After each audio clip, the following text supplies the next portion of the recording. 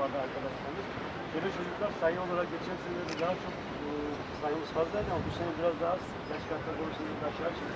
Zamanında 9 yaşlardan da geliyordu.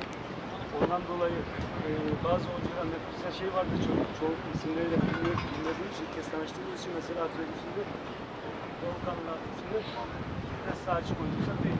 Ortaya kaybettik ama hocaya da şimdi aldık. İkinci yarı olacak, ikinci yarıda kantra çıkacak.